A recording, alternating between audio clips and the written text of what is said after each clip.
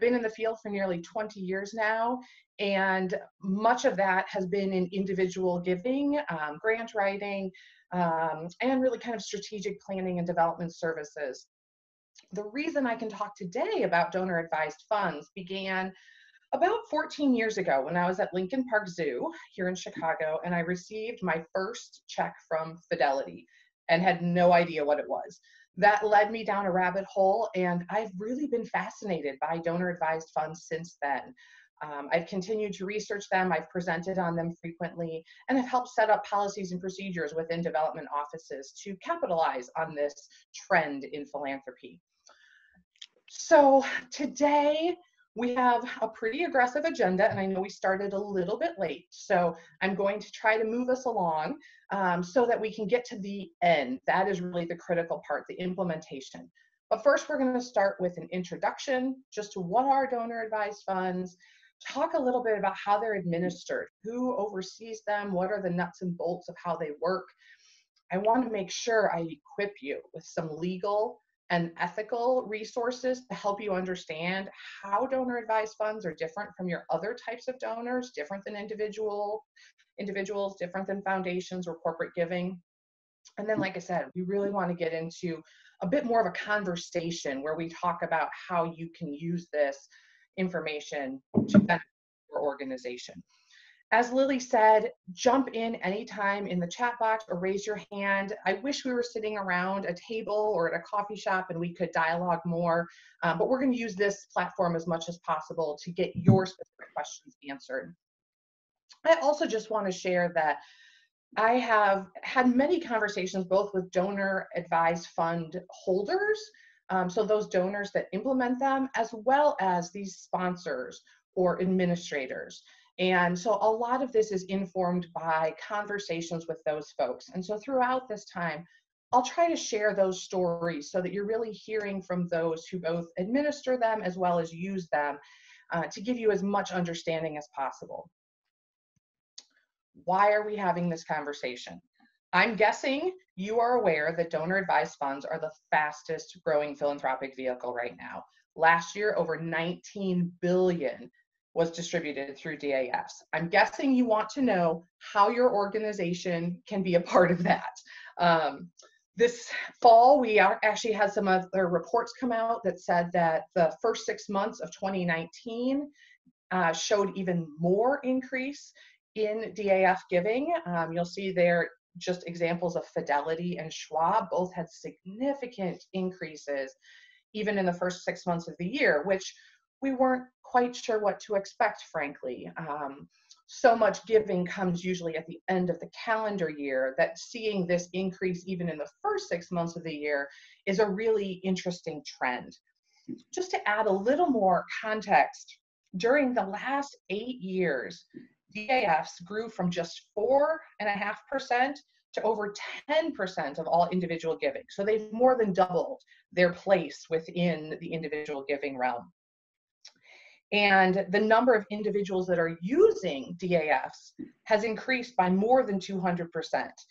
So we're seeing that this is really a growing uh, trend, especially because it is attracting a broad base of individuals.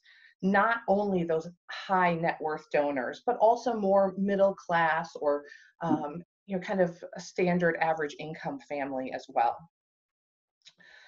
in the last year of the top 10 nonprofits in the country who have received the most donations, who have raised the most funds, five of the 10 of those are actually DAF sponsors. So again, that tells you that, you know, five are organizations like Red Cross or, you know, nonprofits working on the front line. But the other half of those are ones that are redistributing the money through donor advised funds.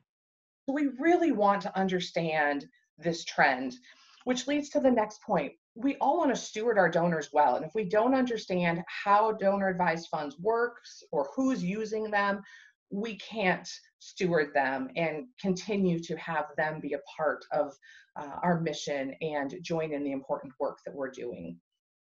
Finally, we're talking about them because DAFs raise a lot of questions, right? I'm sure you have questions, and I hope again you'll use the chat box to share some of those. There's been a lot of debate in the sector. Are DAFs good or bad? You know, are people just using them as like a holding fund and they're putting money in there but then not distributing them? Or how do I find out about DAFs or their administrators? Um, I'm really excited to, you know, get more DAF gifts for my organization, but I don't know where to do that. And a lot of people wonder where are the funds going? Um, there's not the same type of uh, reporting and transparency that perhaps foundations or corporate giving programs have. So we wonder what happens to these funds that have gone into donor advised funds? What kinds of organizations are benefiting? And we're going to delve into all of those in greater detail today. But as Maria says, we should start at the very beginning. You might be surprised to hear that donor advised funds are actually they have a long, rich history. Um, we think that they're a new vehicle, but they've simply gained popularity in the last few years. Uh, the New York Community Trust set up the first DAF back in 1930. And I am a historian in my first career, so I could get really excited going through all of this. But I'm just going to focus on a few high points uh, that are important for you to understand because it affects how you can steward donor advised fund donors. There are restrictions on them that are different than individual giving. And that's what I really want to highlight in some of this history. Um, so in the 60s, they started to really establish the actual format and structure of what a DAF could be. Then there was a lot of debate and frustration, as I expressed earlier, people fearing that this was just becoming a repository for money and it wasn't actually turning into philanthropy. People weren't distributing it. So that, that um, act in uh, 2006 was really putting some restrictions on how DAFs could be used um, in order to counter that fear that the money was just um, sitting in a pot somewhere, growing, growing, growing, but not achieving its purpose. And um, and then I'm sure you heard, uh, you know, about 2016 is when they really took off, and then the Tax Cuts and Jobs Act of 2017. It went into effect in December, and that's when the standard IRS deduction for individuals changed, and there was now an immediate benefit for individuals to make a gift to a donor advised fund rather than individual gifts to organizations. We'll get into that more in a minute as we talk about motivation, but that's when these really exploded.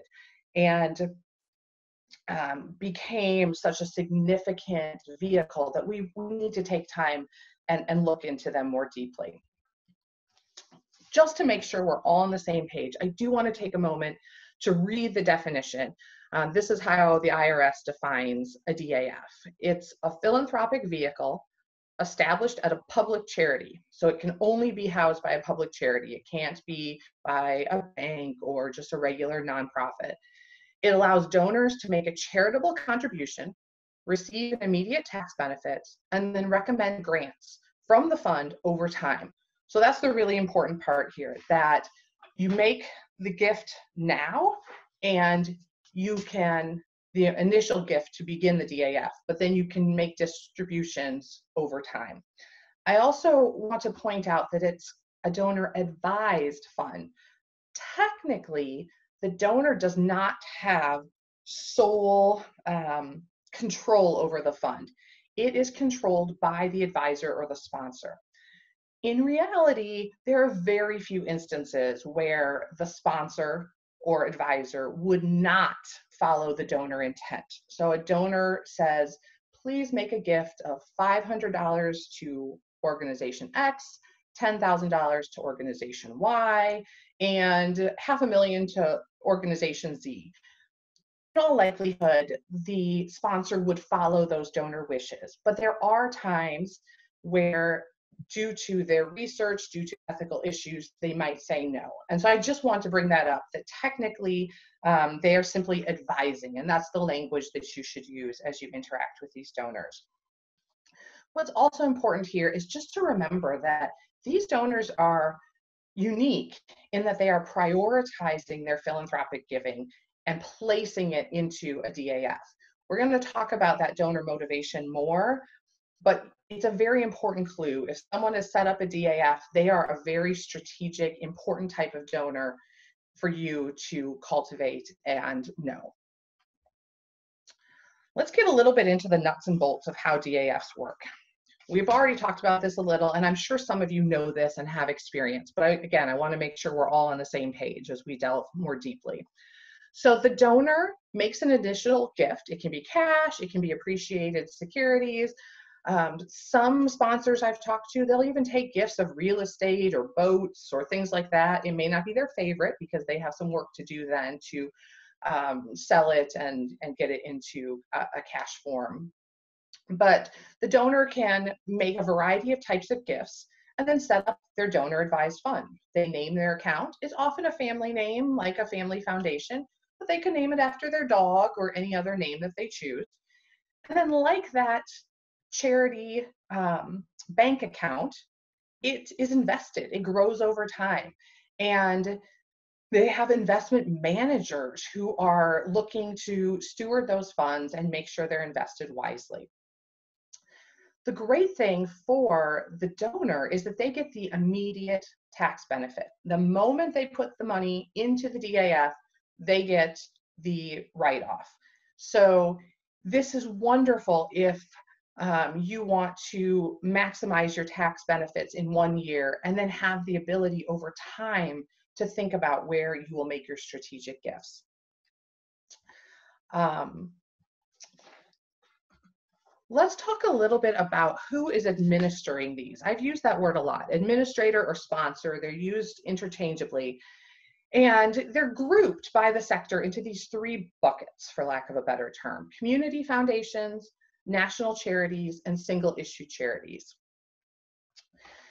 Community foundations uh, are a natural player in this. They already know the needs of the community. They're often familiar with the nonprofits working on the front lines, and they have existing relationships with donors. As you saw, the very first donor advised fund was set up at a community foundation in 1930. And they've continued to be a great asset. They really play the role of connecting nonprofits with donor advised funds um, so that they can achieve a desired impact together. National charities are actually where the largest number of donor advised funds and the greatest assets in donor advised funds currently reside. So these are things like Fidelity and Schwab, which you've probably heard the most about. Um, what you'll want to note is there's actually a separate, you know, charitable fund then that's set up at Fidelity because of course Fidelity is not um, a nonprofit and in order to um, distribute DAF funds, you have to have this de designation of public charity. And so they apply and have a separate section that is a public charity and then therefore can administer these funds. Because of their growing popularity, um, some other uh, different types of institutions have gotten into uh, the, the donor advised fund realm as well. Jewish federations were one of the first to do that. They're located across the country. I know the one here in Chicago has an active portfolio of thousands of DAFs that they administer, but as do their offices all across the country. More recently, other entities like universities and hospitals have started to dabble in DAFs. This gives them a great advantage with their existing donors. They have a chance to keep those donors close and provide a service for them. If a major donor is already committed to the work that the university is doing, it might be a natural fit to set up a DAF there that then the university can help them make decisions of how to allocate their funds to university causes as well as to other nonprofits. I will note some of these have specific criteria. For instance, the Jewish Federation may say that you know all gifts or a certain portion of the gifts must be to Jewish friendly causes. For instance, they're not going to give to organizations that are anti Semitic. Um, a university might require that a certain amount of the DAF funds come back to the university through gifts um, in return for the services they're providing in investing those funds and stewarding them in other ways. So I know this is a lot of information. Um, we are starting to get into um, kind of some of the trends now about how we should think about this. Remember, Lily shared that this slide deck will also be sent after the presentation. So don't feel like you need to rush and jot down all of these numbers. This is the big, big picture, and this is why you can go back to your office and say, we need to pay attention to donor advised funds. Uh, let me just acclimate you to this chart a little bit. That first column echoes the buckets that we just talked about, national charities, community foundations, and single issue charities. It also has a number in parenthesis. That is the number of organizations of that type that the National Philanthropic Trust included in this assessment. So as you'll see at the bottom of the screen, I have the source listed. And so they tried to pull every single donor advised administrator and sponsor in the country. And this is how many they were able to reach through this survey. And that's where all this information comes from. So, what do we see from this besides a lot of big numbers and plus signs? Um, the takeaway here is the number of DAF accounts is growing. The amount of assets in those DAFs is growing. And the number of grants distributed from them is growing. So these are not holding pots for money. These are very active donors who are regularly making gifts to the causes that are important to them. I think it's also interesting to look at that last column, the average DAF size.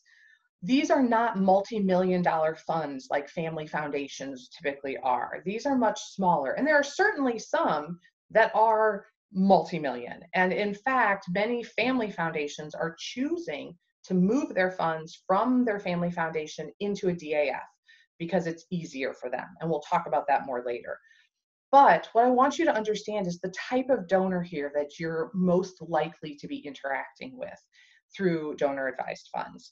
Um, these are smaller um, pots of money. Um, these are more um, middle class individuals. It's often a family where multiple generations may be contributing to it. Um, and that's what's so great about DAFs is they're much more accessible than setting up a, a family foundation for those that are committed to their philanthropic work but don't have the assets that justify setting up a separate foundation. So let me get into just uh, a few more trends to help you understand where we're at. This was contained in the previous chart, but I think it's just much more clear here. Within the last five years, the assets in donor advised funds has nearly doubled. This is important to know. And note that these numbers are in billions. So this is a really um, significant amount of money that is being stewarded and then distributed in this way. Similarly, the grants from DAFs have nearly doubled in the last five years. Um, as you know, foundations are only required to give 5% of their assets every year. What we actually find with donor advised funds, most donors are giving approximately 20% of their assets every year. So these are actually much more of a um, a source of funding that there's a quicker flow through that people are using rather than using to retain their um, their assets. Where's the money going? This is what you all pay for. This is what you want to know. What we find is that DAF recipients are very similar to overall individual giving trends. I'm sure you follow Giving USA every year and are familiar with their reports about where uh, gifts are going throughout our country. And what we find is that individuals, whether they're giving through a DAF or giving cash assets, other gifts, are giving to similar types of organizations. As you'll see here, most of it goes to education, religion, public society benefit, which is kind of a broad uh, area, including some democracy and justice initiatives. Um, it also includes veterans, um, some things like that, and then human services. So this very much aligns with all individual giving trends. There are a few differences. Just about two weeks ago, the Gates Foundation came out with a report saying their analysis of DAF giving shows that they're slightly skewed towards women and girl issues and programs, which I found fascinating. They're going to continue to monitor that trend, but found that um, more donor advised fund owners are um, interested in giving to girls and women rather than your average population. How do DAFs fit into the big picture of all of philanthropic giving? So this kind of again gets with back to that Giving USA report where we know individuals are usually 70 to 80% of all philanthropic giving and then corporate and foundation are a much smaller piece of the pie.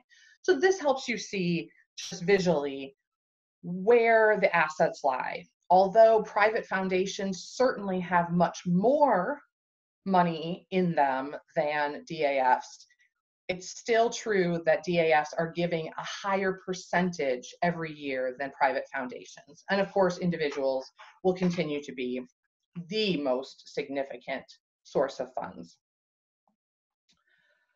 Let me take a breath and summarize a little bit. These are mostly things we've already covered with a few additional um, nuggets of information, and then we're gonna pause for some questions here. So we can all agree DAFs are growing quickly, and it's largely because they're attractive to a wider variety of donors. They're not just for the high net worth individuals, they are for a wide variety. It's for middle class folks, it's for extended families. Um, most DAFs only require an initial deposit of five or ten thousand dollars to open the account. So again, that's really accessible for most people. Uh, it's not like a family foundation where you really need several million to justify the process of incorporating and all the administrative expense of, of setting up that entity. Also, as we just saw, DAFs are held by a relatively few number of sponsors. In fact, to get even a finer point on it, 15 organizations total, 15, so like Fidelity and the National Philanthropic Trust, 15 organizations hold nearly 60% of all DAF assets in the entire country. So these are very um, um, specialized and grouped with a few entities that are truly experts in it. Although universities and hospitals and others are starting to be more active in this, it's largely a few major players in this space at this point. As we just said, the giving trends very much align with general philanthropic giving, education, religion, you know, kind of that benefit to society are where most DAF funds um, are distributed. And then I also want to add that granting patterns from these DAFs are relatively stable every year. There was some thought early on that you know people would again hoard or kind of bunch their giving, um, but we see that this the giving each year remains relatively stable, both within each individual fund, but also aggregate. Um, you know, so DAFs as a whole. Um, also, that they do align with these granting patterns of high net worth donors, both institutional, you know, grants as well as individual giving. So I want to pause just for a moment and check in with Lily. Lily, do we have any questions yet? Um, or if anyone has a question that has come to mind as I've been rambling, um, please jump in, raise your hand so we can unmute you or submit a question via uh, the chat box. I'm not seeing anything yet in the chat box. Um, I am just going through and unmuting. So if anybody, do, oh, I think I am. If anybody does want to um, speak up, they can.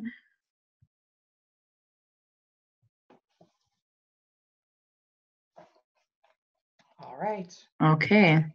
Quiet but happy crowd, I'm hoping. I think so. I'll keep an eye. Oh, I've got one. Um, the DAF sponsor holds the funds only or also invests. This is they from hold and invest. That's a great question. Yes, so they're investing them. So it is, um, and that's one of the reasons people were concerned that there weren't ample distributions from them because if they're investing well, DAFs could grow rapidly. And so part of the service and the reason why people choose DAFs, which is what we'll get into in a moment, is because you have these talented investors then who are helping make wise decisions for you. And if they're investing well, then you really can expand your philanthropic impact and um, continue to make larger gifts. So that is a great uh, clarification. I'm glad you asked. Anything else, Lily? Um, Shania has added, so if an organization currently holds an endowment, is there an opportunity to transfer to a DAF? Ah, that is a fantastic question. We might need to pull in a legal expert here. I think that because the purpose of a DAF is to grant out and I'm not sure if you're just, you know, granting out to yourself in essence, if that um, is allowable. I do, I can ask, um, one of the, the experts that I have learned from is Bob Eichinger at the Chicago Community Trust and also um, Rose Jagist here at the Chicago office of the Jewish Federation. Um, and so I can certainly clarify with them. I'm not as familiar as the differences between endowments and DAFs as I am with family foundations and DAFs. But I will follow up on that. She added, um, so the scholarship recipients, yes, so the scholarship recipients would be the grantees. Sinai, I'm going to try and unmute you. Um, so you could just talk freely. It might be a little easier to get your clarifying questions. I don't know if it's working. Are you there, Sanea? Are you able to ask? She said she doesn't have a microphone. Okay. Okay, that's fine. Yeah, and I think I know what you're getting at. And I'm not sure because you're then distributing to individuals rather than to a nonprofit entity. DAFs, the distribution needs to be to a 501c3. Um, so again, if you're writing the checks from your organization um, to a 501c3 that's a university for a scholarship, then you might be able to, but I'd like to explore that a little more in depth and I'll include some of those answers in the follow-up materials that we send after this webinar. She added money would go to the universities. Yeah, so I think that might be where you get a bit of leeway, but I'd like to explore that a little bit more with Bob and just make sure. It's nice to have these attorneys to ask because they uh, can make sure I'm not misspeaking. And I mean, none of us look good in orange, right? So I don't want to end up in prison, nor you. Right. Um, all right. Well, we're getting into the really important part, which I hope is where you feel empowered and can go back to your offices and apply this. So I'm going to jump right in. We need to understand donor motivation. You know, why? These vehicles have existed. Donor advised funds have been around for nearly 90 years. Why are they suddenly exploding now?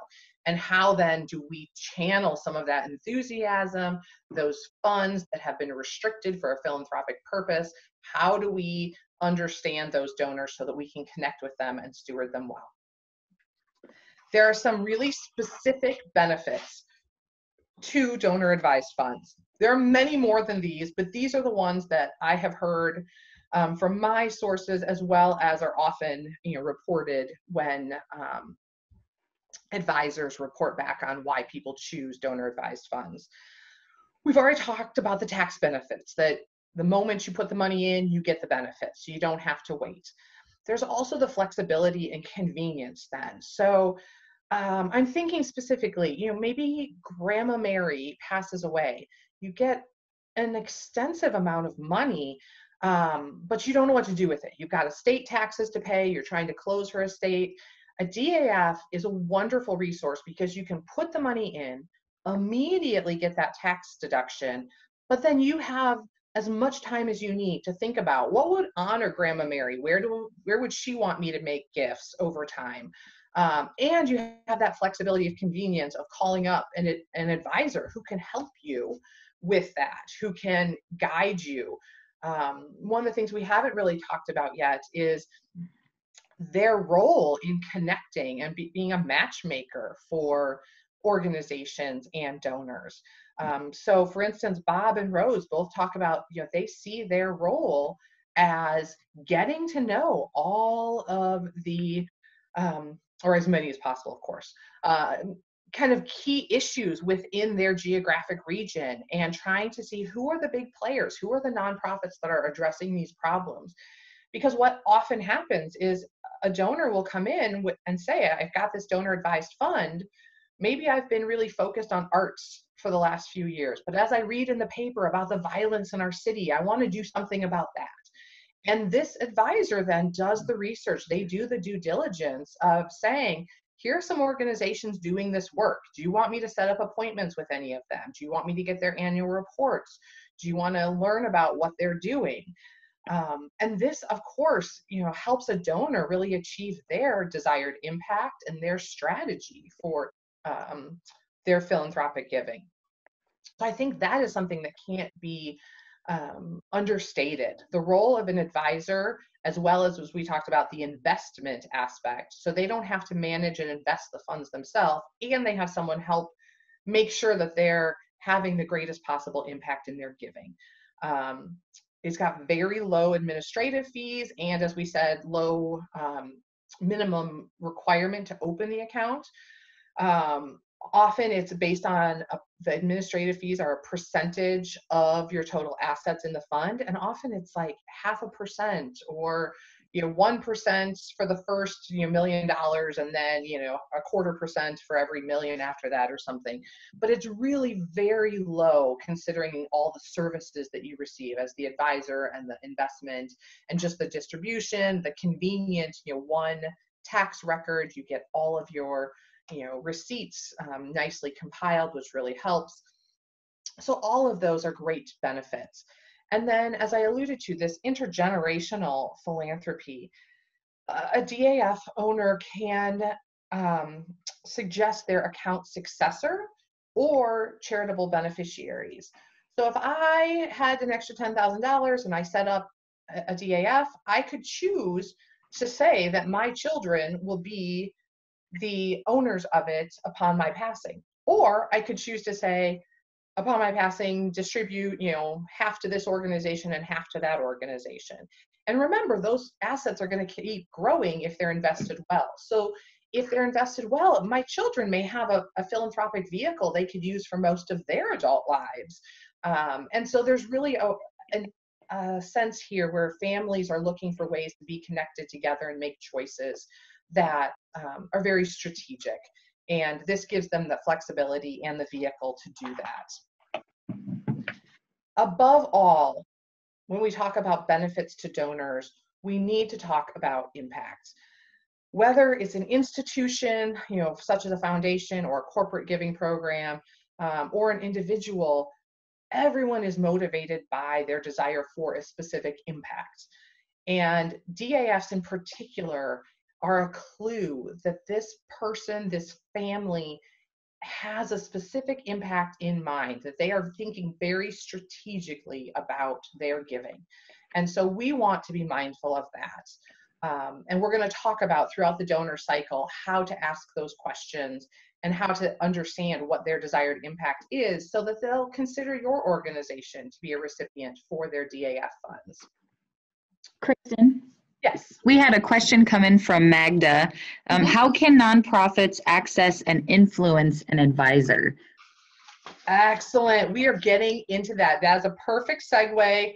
This is where this actually kind of looks like my grandma Martha. It's funny. Um, what do we do with this? How do we take advantage of that? Um, and I think you know what you're getting at is this difference here of DAFs and foundations that foundations you know are searchable and you know who your program officer is and you can cultivate them or at least confirm you kind of qualify and see if you are in fact a fit for them um, so let me just touch on these other um, few differences and then we're exactly going to get into your question magda um, so you're probably well aware of these other differences because foundations for most organizations are much more comfortable. We've worked with them for a long time.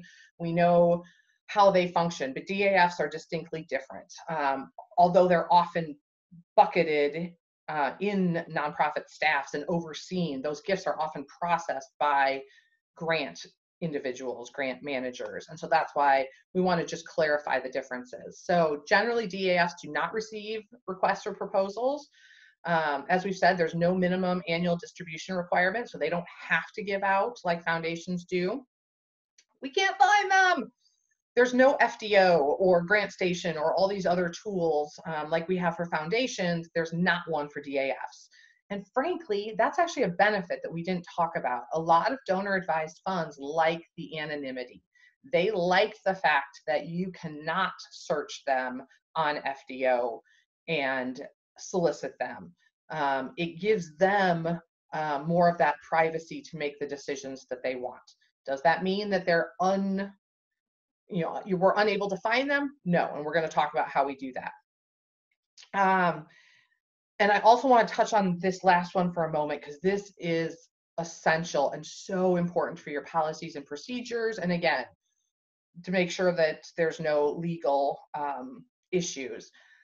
DAFs cannot receive donor benefits, um, and it is very strict. So this is different. Some foundations, you're probably less likely to give benefits to foundations, but certainly individuals. And again, I'll go back to my example of working at Lincoln Park Zoo. We often had people give through donor advised funds for you know $5,000 a year, $10,000 a year, and for us, that was a specific giving level. And with that giving level came certain benefits, you know, tickets to the gala, behind the scenes tours, maybe a little mug, um, you know, other perks um, associated with their gift, which for us were really important because we wanted to steward them well and keep them connected and show them the impact. A DAF cannot receive any of those. If there's any value, they cannot receive it. Um, and the reason is remember, they got their tax benefit when they made the initial gift into their donor advised fund. So they may have made a gift back in 2002, but they're just now distributing a gift to you in 2019. They can't double, you know, take two sets of benefits for that. And so if they were to take that, you know, from that $10,000, technically you you know subtract the amount the value of their gift and then it's the remainder that is tax deductible. Um, and so that's why they cannot receive any benefits and that's so important to have all of your staff know and make sure that you are following that especially as you think about things like gala tickets where you might want to comp them but they absolutely cannot um, receive those. I promise magda we're here now. We're going to talk about if you can't you know look them up in a way like foundations, how then do we um, identify them? How do we, you know, qualify and cultivate them? I hope you're all familiar with the donor cycle. This holds true for all types of donors, whether it's an institution or an individual, and is certainly applicable for the donor advised fund. What you need to think about in all of this, the lens is that donor advised funds are really individual gifts. It's just the vehicle that they're using. Just like you don't try to identify and qualify and cultivate credit card donors and ignore check donors, same thing. You're not going to be looking for DAF donors rather than another type of donors. It's just the way in which they make the gift. So that's really helpful throughout this to think about we are cultivating, we are developing relationships, we are stewarding and doing moves management for individuals and the individuals just happen to have a donor advised fund. So in the ID process, in the identification process, I've asked a variety of sponsors and administrators this exact question because inquiring minds want to know. And indeed, most of them are open to receiving, for instance, a one page summary of your organization. Um, Bob and Rose both said um, that they um, often get those. Um, and it, hopefully it starts organically and, you know, not in a stalker-esque way. Um, often people will come up to them at an event, you know, especially a community event. Um, it might be just a, you know, one-page letter that they send, but you can indeed introduce your organization to these sponsors and administrators of DAFs, and then they can help you identify DAFs that might be a match. So you can't look them up anywhere, but you can work on having a relationship with those people who have access to those that pool of donors. You can also do some detective work. Again, depending on how much time you have in your staff capacity. I know some organizations that actually look through you know the annual reports of other similar organizations and have found quite a few donor advised funds that way often you'll see you know it's the so and so family fund which is usually a tip um, again they can name it anything they want so it's not always helpful but that is something that might work some community foundations will actually list on their website or in their annual report they will list all the donor advised funds um, again it depends on the entity if it's something like fidelity we're out of luck. You know, they're not going to help us. Their um, purpose is to, you know, keep their client happy. And certainly, you know, the onus is on them to research the nonprofits and make sure that they're ethical and wise distributions.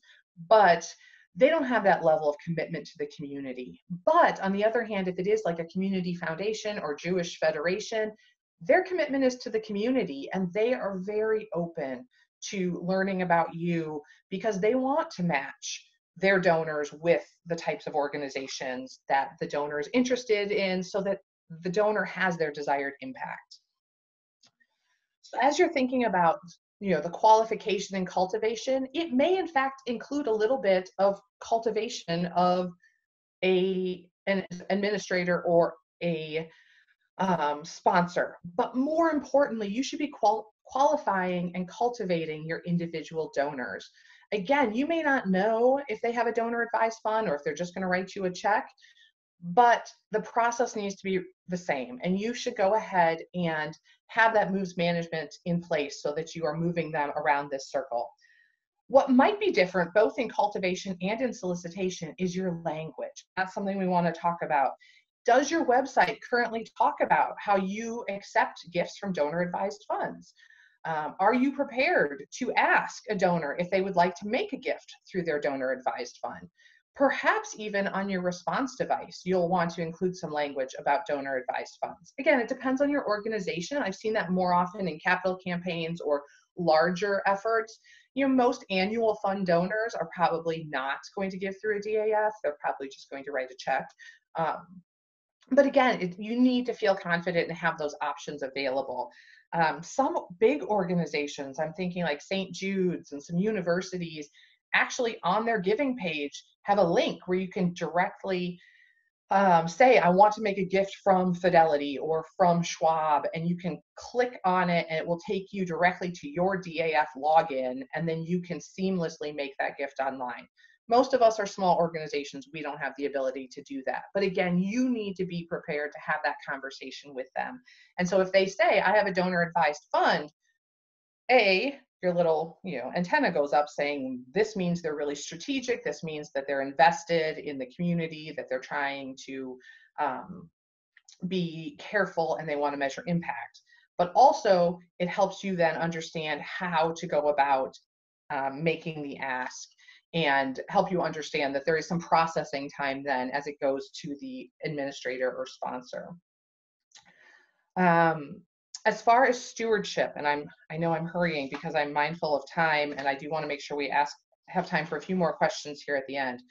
Stewardship again, the big thing is yes, acknowledge them, send them that thank you, but the acknowledgement cannot have any language about tax benefits. You cannot say that this gift is benefit or is um, is um, deductible to the extent allowed by law or whatever. You need to have a separate version, a separate template of that acknowledgement letter so that they are not able to write it off twice. This is really important. Um, but you should continue to steward them in every way possible. Send them impact reports, you know, ask them out to coffee, all of these things that have no value associated. Again, no gala tickets, no other fancy perks, but you can steward them as you would other major donors. Um, okay, I think I have shared much of this already, um, and I'm trying to hurry for a few additional questions. So again, some of those takeaways is just to make sure that you've got the DAF language everywhere that shows those donors that you are able to respond if that is their preferred vehicle. You want to make sure you have really clear gift acceptance policies, especially with those um, legal aspects of no benefits. Um, and yes, to Magda's question, you know, if it's appropriate, if there is a way for you to have that conversation with your local community foundations, Um, you know, from time to time, I have heard of people who had connections at Fidelity or Schwab, and they were able to have the conversation there as well. A little more difficult, and is a more national focus in the giving, so it's not always as productive as a community foundation or a JUF, where they're more focused on community giving. Um, and then really above all focus on cultivating that individual well. Move them through your moves management process and then just wait and see what giving vehicle they choose to use.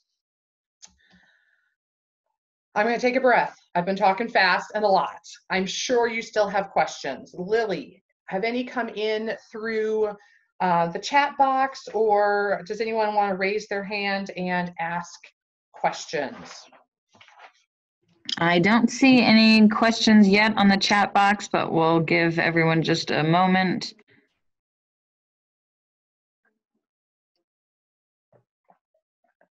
It gives me a second to get a sip of coffee. Let me see if anybody's got their hands raised.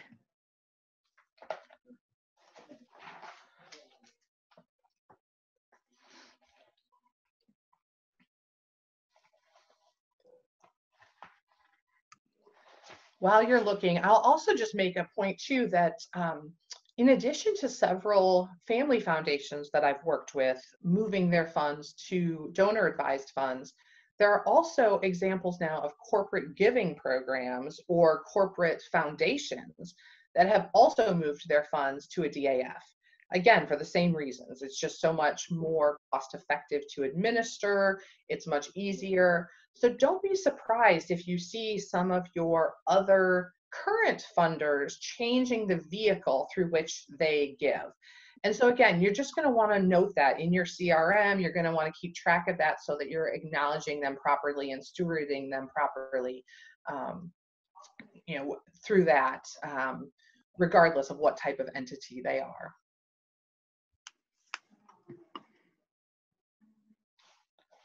All right, if there's no questions, I wanted to just let you know, um, as I send this out, there's this resource list as well with live links. Um, there's so much great information out there about donor advised funds. I hope that you have gotten a good introduction to it, understand a little more of the nuts and bolts of how they work, um, and also feel a little more equipped to have those conversations with donors.